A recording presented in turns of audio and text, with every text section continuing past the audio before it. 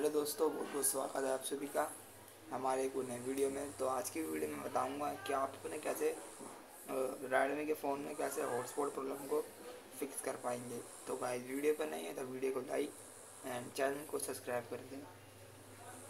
तो आपको अपने रेडमी के फ़ोन में कैसे आप हॉटस्पॉट प्रॉब्लम को यहाँ पर फिक्स कर पाएँगे।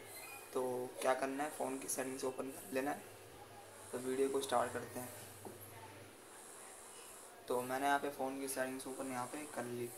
तो यहाँ पे करना क्या पड़ेगा? यहाँ पे आ जाना स्क्रॉल करके, देखने को मिलता है कनेक्शन एंड शेयरिंग का ऑप्शन इस पर क्लिक कर देंगे और स्क्रॉल कर देंगे इसको।